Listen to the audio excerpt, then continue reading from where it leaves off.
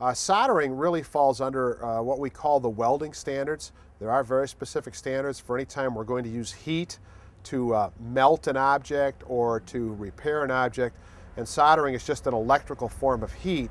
Uh, so they really fall under a lot of our welding standards. In those standards, there are very specific requirements about how uh, workers will use with the various products. Some of the products they have to protect themselves from either by using the proper eye protection, using the proper hand or glove protection.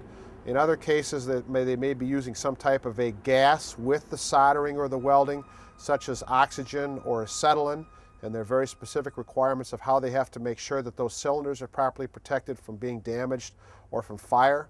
On the electrical side, of course, they always have to be looking at possible electrical contact issues and how somebody might accidentally come in contact with electricity that could result in some type of a burn or an electrocution. So there's various standards in different places depending on the type of soldering or the type of welding that somebody's going to do.